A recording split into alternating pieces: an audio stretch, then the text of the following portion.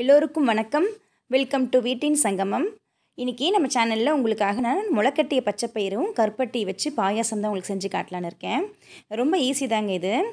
நம்ம வந்து ஒரு எட்டு மணி நேரமாக இந்த பச்சைப்பயிறு ஊற வச்சுட்டேங்க. அதாவது நைட் நம்ம படுக்க போகும்போது ஊற வச்சிட்டோன்னா காலையில் நம்ம தண்ணியை நம்ம வடிச்சிட்டு அதே பாத்திரத்திலே வச்சிடலாங்க முளை கட்டுறதுக்கு நம்ம வந்து மூட்டை கட்டி வைக்கணுங்கிறது அவசியம் இல்லை இந்த பச்சைப்பயிரை பொறுத்த வரைக்கும்.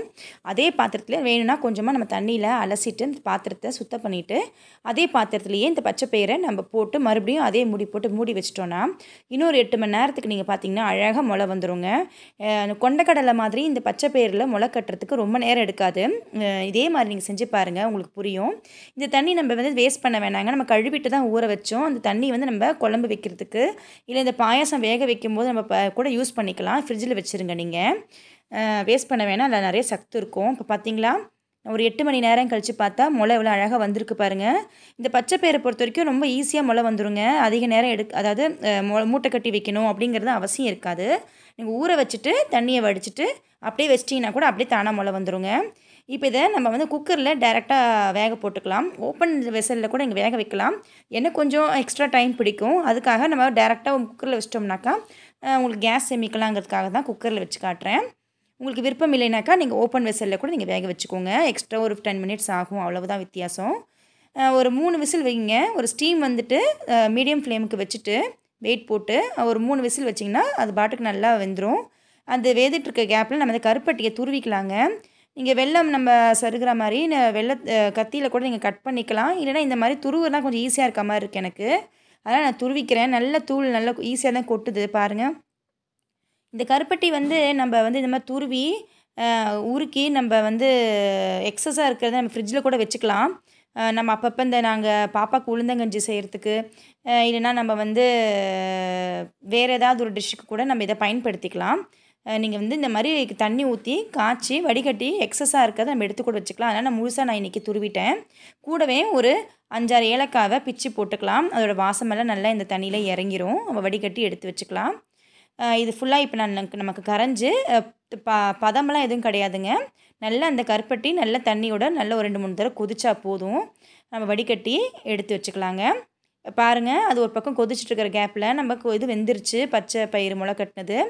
இந்த அளவுக்கு நல்லா தோல் தனியாக உள்ளே இருக்கிற பருப்பு தனியாக வந்துடும் இப்படி தான் இருக்கும் நல்லா வெந்துருச்சு பாருங்கள் இப்போ இதை நம்ம மேலாப்படி இருக்கிற தண்ணியை இருத்துட்டு மத்து வச்சு கடைஞ்சிக்கலாம். அப்படியே செய்கிறதுக்கு நம்ம கடைஞ்சிட்டோம்னா நல்லா இருக்குங்க. ஒன்று சேர இருக்கும். இப்போ பாருங்கள் எக்ஸஸ் தண்ணி இருந்தால் செய்யுங்க. கொஞ்சம் நெஞ்ச ஏன்னா கடைப்படாது இல்லைங்களா? நிறையா தண்ணியோடு நம்ம கடைஞ்சோம் அப்படின்னாக்கா கொஞ்சம் கடைப்படாமல் இருக்கும். அதனால் கொஞ்சம் எக்ஸஸாக இருக்கிற தண்ணி இந்த மாதிரி ஒரு பாத்திரத்தில் இருத்து வச்சுருங்க. அப்புறமா இந்த தண்ணியை நம்ம ஊற்றிக்கலாம் இப்போதைக்கு கடைக்கிறது கடையிறதுக்காக நம்ம தண்ணியை எடுத்து வச்சுக்கிறோம். இப்போது இந்த இந்த மாதிரி மத்து வச்சு நல்லா ரொம்ப நேரம்லாம் நீ- நீ உட்காந்து கடையணும் இல்லை. ஒரு ரெண்டு நிமிஷம் இந்த மாதிரி கடைஞ்சிங்கன்னா போதும். ஒன்று ரெண்டு அப்படியே முழுசு முழுசாக அப்படி இருக்க மாதிரி இந்த திரு அப்படி இருந்தால் தான் நல்லாயிருக்கும் பாயாசம். நம்ம பருப்பு பாயாசம் செய்வோம்ல அது மாதிரி தாங்க. இப்போ பாருங்கள் ஒன்று சேர ஆயிடுச்சு பாருங்கள் உங்களுக்கு இந்த மாதிரி மத்து இல்லைன்னா இது மாதிரி மத்தில் கூட நீங்கள் கடையலாம். ஏதாவது ஒன்றுத்தில் கடையிலாங்க. நான் உங்களுக்கு செஞ்சு காட்டுறதுக்காக தான் காட்டுறேன். நல்லா கடையணுங்கிறது இல்லைங்க. நைஸ் மாவு மாதிரிலாம் ஆக வேண்டாம். அப்படியே ஒன்று ரெண்டாக நமக்கு உடஞ்ச மாதிரி இருந்தால் போதும். உங்கள்கிட்ட எந்த மாதிரி மத்து இருந்தாலும் இந்த மாதிரி நீங்கள் கடைஞ்சிக்கோங்க. இப்போ இதை கடைஞ்சிட்டு நம்ம எடுத்து வச்சுக்கிற தண்ணியை கூட இதிலேயே ஊற்றிடலாம் அவ்வளோதான் பாருங்கள் இந்த அளவுக்கு ஆனால் போதும். அது வந்து வாயில் சாப்பிடும்போது கடிப்படுற மாதிரி தான் இருக்கும். ஆனால் வெந்திருக்கனால உங்களுக்கு ஈஸியாக அது வலுக்கிட்டு வழுக்கிட்டு உள்ளே போயிடும் சாப்பிடும்போது. ரொம்பலாம் திருத்திரியாக இருக்காது. இப்போ பாருங்கள் இதுவும் ஒரு பக்கம் கொதிச்சிருச்சு ஆஃப் பண்ணிவிட்டு இப்போ இந்த கருப்பட்டிப்பாக நம்ம இதில் த ஃபில்டர் பண்ணி பாயசத்தை சேர்த்துக்கலாம். மொத்தமாக ஊற்றிட வேணாம். ஓரளவுக்கு திட்டமாக ஊற்றிட்டு நம்ம கலந்து பார்த்துட்டு செக் பண்ணி தேவைப்பட்டால் ஸ்வீட்னஸ் வேணும்னா இன்னும் கூட நம்ம ஊற்றிக்கலாங்க நான் கொஞ்சம் முதல்ல ஊற்றிருக்கேன் ஊற்றினோடனே கலந்து பாருங்கள் எந்தளவுக்கு கலர் மாறிடுச்சு பார்த்தீங்களா? இந்த கருப்பட்டி கலர் அப்படியே வந்துடும் அந்த பாயசத்தில். ரொம்ப டேஸ்ட்டாக இருக்குங்க. இந்த முளைக்கட்டின பச்சை பயிரும் இந்த கருப்பட்டியும் சேரும்போது அது ஒரு விதமான வாசத்தோடும் டேஸ்ட்டாக இருக்கும். ரொம்ப நல்லாயிருக்கும் ஒரு ட்ரெடிஷ்னலாக ஒரு பாயாசம் நம்ம சாப்பிட்ற மாதிரி ஒரு எஃபெக்ட் இருக்கும். சூப்பராக இருக்கும். நல்ல உடம்புக்கும் நல்லது. இப்போ நம்ம ஸ்வீட்னஸ் செக் பண்ணி பார்த்ததுல கொஞ்சம் கம்மியாக இருந்தது. இன்னும் கொஞ்சம் ஊற்றியிருக்கேன் கூடவே ஒரு சிட்டிகை அளவுக்கு உப்பு போட்டுக்கோங்க. எந்த ஒரு ஸ்வீட் செஞ்சாலும் நம்ம உப்பு கொஞ்சம் போட்டோம்னா அந்த ஸ்வீட்னஸ் அப்போ தான் நமக்கு வெளியே எடுத்து கொடுக்கும். அதுக்காக கொஞ்சமாக போட்டுட்டு எல்லாம் கலந்து பார்த்தேன். நல்லா இருக்குது. கரெக்டாக இருக்குது ஸ்வீட்னஸ்ஸு இப்போது இது நல்லா ஒரு கொதி வரணும். நம்ம ஏற்கனவே பச்சை பயிறு வெந்துருச்சு. கருப்பட்டி கொதிச்சிருச்சு. நல்லா ரெண்டும் சேர்ந்து ஒன்றா நமக்கு ஒரு ரெண்டு மூணு கொதி வந்தால் போதும். ரொம்ப நேரம் கொதிக்கணும் இல்லை. இப்போ நான் எக்ஸஸாக இருக்கிற கருப்பட்டி தண்ணியை நான் வந்து ஒரு சம்படத்தில் போட்டு நம்ம ஃப்ரிட்ஜில் வச்சிடலாம் ஃப்ரீசர் கீழே சில்ட்ரே இருக்கும் இல்லைங்க அதில் வச்சுருங்க. நம்ம குழந்தைங்களுக்கு நீங்கள் வேறு ஏதாவது டிஷ் செய்யும்போது கூட நீங்கள் அதில் கலந்து விட்டுக்கலாங்க. ஒன்றும் ஆகாது. ஒரு மாதம் ஆனால் கூட கெடாதுங்க. அப்படியே வச்சுக்கோங்க. இப்போ அது ஒரு பக்கம் எடுத்து வச்சுட்டு நம்ம சின்ன சின்னதாக குட்டி குட்டியாக தேங்காவை பல்லு பல்லாக நான் அரிஞ்சு வச்சுருக்கேன். நெய்யில் நல்லா நல்லா வறுத்துக்கலாம். முந்திரி பருப்புக்கு பதிலாக நான் இன்றைக்கி தேங்காய் பயன்படுத்துகிறேன் நீங்கள் முந்திரி பருப்பு வே இஷ்டப்பட்டால் கூட நீங்கள் போட்டுக்கலாம். ஆனால் தேங்காய் போட்டு பாருங்கள் ரொம்ப டேஸ்ட்டாக இருக்குங்க. ஒரு கைப்பிடி அளவுக்கு போட்டிங்கன்னா போதுங்க. நல்லா பொன்னிறமாக வறுத்துக்கோங்க. சவுக்கு சவுக்குன்னு இருக்கக்கூடாது. அதுக்கு தான் எந்த அளவுக்கு பொடியாக நறுக்க முடியுமோ அந்த அளவுக்கு நறுக்கிக்கோங்க. நீங்கள் துருவி கூட சேர்த்துக்கலாம். ஒரு சிலருக்கு இந்த தேங்காய் கடிப்படுறது ரொம்ப பிடிக்கும். எனக்கு ரொம்ப பிடிக்கும். இந்த மாதிரி குட்டி குட்டியாக கட் பண்ணி பாருங்க. பாயசத்தில் நம்ம சாப்பிடும்போது கடிப்படுறது அதுவும் நெய்யில் வறுத்துட்டு போடும்போது. அது கிறிஸ்ப்னாக இருக்கும். நமக்கு சாப்பிடவும் நல்ல டேஸ்ட்டாக இருக்கும். பாருங்கள் நல்ல லைட் ப்ரௌன் கலரில் மாறிடுச்சு பார்த்தீங்களா கலரு பொறுமையாக சிம்மில் வச்சு வதக்குங்க. இப்போ இதை நம்ம இந்த பாயசத்தை சேர்த்துக்கலாம். அப்படியே கொட்டிட வேண்டாம். முதல்ல இந்த மேலே அப்படியே இருக்கிற தேங்காவை மட்டும் இருத்து போட்டுக்கலாம். ஏன்னா நம்ம அடியில் இருக்கிற அந்த மீதி இருக்கிற நெய்லியே தான் நம்ம இந்த காஞ்ச திராட்சையும் நம்ம வறுத்துக்க போகிறோம் ஒவ்வொன்றுத்துக்கும் ஒவ்வொரு தடவையும் நம்ம நெய் ஊற்ற தேவையில்லை. பாயசத்தை பொறுத்த வரைக்கும் எனக்கு நிறைய நெய் ஊற்றணுங்கிறது இல்லைங்க.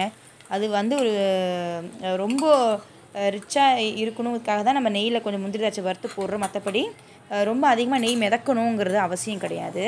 அதனால் அளவாக நெய் ஊற்றி செஞ்சு பாருங்கள் இப்போ பாருங்கள் அதே நெய்லேயே ரெண்டு கிராம்பு போட்டுக்கிறேங்க. நீங்கள் கிராம்பு போட்டு செஞ்சு பாருங்கள் நல்ல வாசமாக நல்லா இருக்கும். கூடவே ஒரு கைப்பிடி அளவுக்கு திராட்சை போட்டுக்கிறேன். உங்களுக்கு முந்திரி பருப்பு விருப்பம் இருந்தால் முதல்ல முந்திரி பருப்பை போட்டு வறுத்துட்டு அப்புறம் திராட்சை போட்டுக்கோங்க. நான் இன்றைக்கி முந்திரி பருப்புக்கு பதிலாக தான் தேங்காய் போட்டிருக்கேன். இல்லை உங்களுக்கு முந்திரி பருப்பு சேர்க்கணும்னு ஆசைப்பட்டீங்கன்னா கூடவும் சேர்த்துக்கலாம். அதனால் எந்த தப்பும் இல்லை. இதெல்லாம் உங்கள் டேஸ்ட்டை பொறுத்தது. மற்றபடி பேசிக் மெத்தடாக நான் உங்களுக்கு நான் செஞ்சு காட்டுறேன்.